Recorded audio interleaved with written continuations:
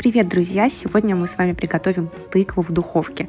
Этот рецепт очень простой и вкусный. Он мне нравится тем, что с тыквы даже не придется снимать кожуру. А сама тыква получается мягкая, сочная и невероятно вкусная, как та тыква, которую нам в детстве готовили наши бабушки. Ну что, давайте приступим. Нам нужно взять тыкву и хорошенько помыть ее от земли. Затем аккуратно разрезать на две половинки. Режьте, пожалуйста, аккуратно, потому что обычно кожура у тыквы очень толстая.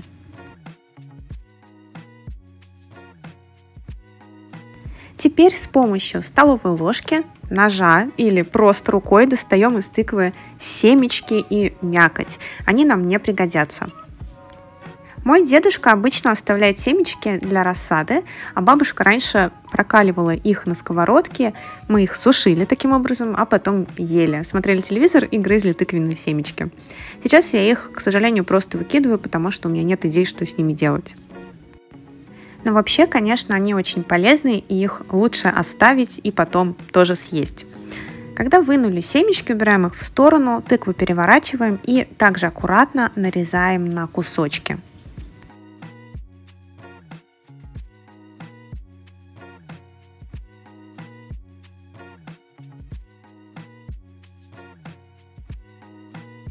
Режем прямо с кожурой. Кожуру снимать не нужно, если, конечно, у вас тыква не такого сорта, когда там очень толстая кожура.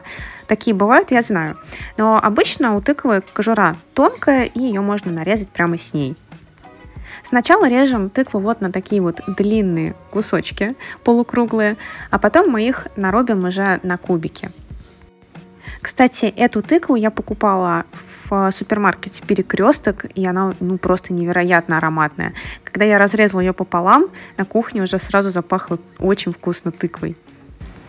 Я думала, что вкусную тыкву можно взять только с дачи, вот но нет, оказывается, в супермаркетах тоже продаются вкусные тыквы.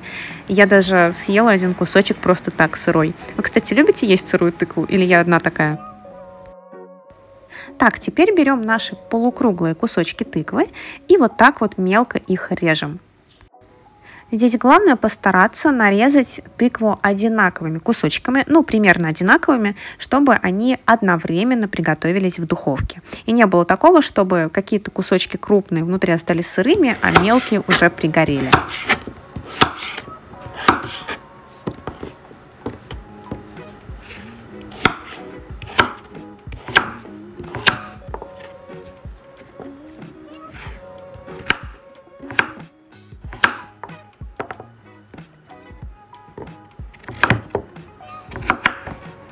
Тыкву нарезали, теперь берем форму для запекания или противень. Главное, чтобы вся тыква у вас уместилась. Моя форма для запекания была достаточно маленькая, поэтому я взяла обычный противень. Застилаем его бумагой для выпечки и выкладываем тыкву. Маслом смазывать бумагу уже не нужно.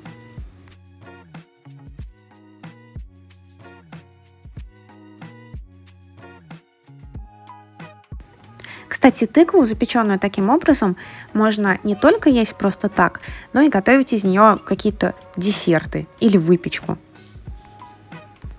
Этот рецепт очень универсальный, тыква получается быстро и вкусно. Очень рекомендую добавить его в закладки и не терять.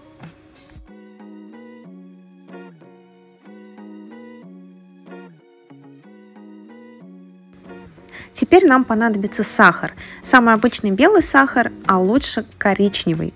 Тогда тыква получится с карамельным привкусом. Просто посыпаем каждый кусочек тыквы немножко сахаром. Количество сахара можно регулировать по вкусу. Если хотите более сладкую тыкву, то посластите ее побольше. У меня дома был коричневый сахар, я вообще часто его использую, но в этом рецепте мне хотелось показать вам, что тыкву можно сделать и с обычным сахаром, поэтому я тоже использовала белый. Посмотрите, каждый кусочек тыквы должен быть хорошо посыпан сахаром. При выпечке сахар начнет плавиться и придаст тыкве такую вкусную карамельную корочку. Теперь нам понадобится растопленное сливочное масло. Растопить сливочное масло можно на водяной бане или в микроволновке.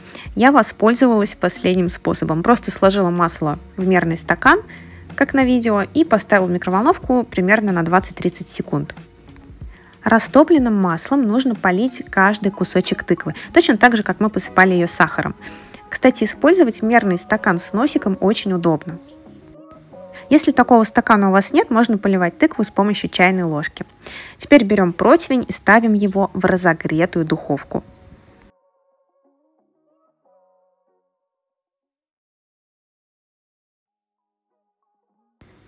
Готовим примерно 20 минут при 200 градусах. Точное время приготовления зависит от вашей духовки и от размера кусочков, то есть от того, как крупно или мелко вы нарежете тыкву. Посмотрите, какая красота у нас получилась. Тыква запеклась, масло расплавилось, и сахар превратился в карамель. Это просто невероятно вкусно. Такая тыква мне нравится как в горячем виде, только что из духовки, так и в холодном. Я складываю ее в контейнер с крышкой и убираю в холодильник на хранение. Ну, правда, сильно долго она у нас не лежит, обычно мы съедаем ее за день, максимум за два. А еще я очень люблю добавлять такую тыкву в кашу по утрам на завтрак. Приятного вам аппетита!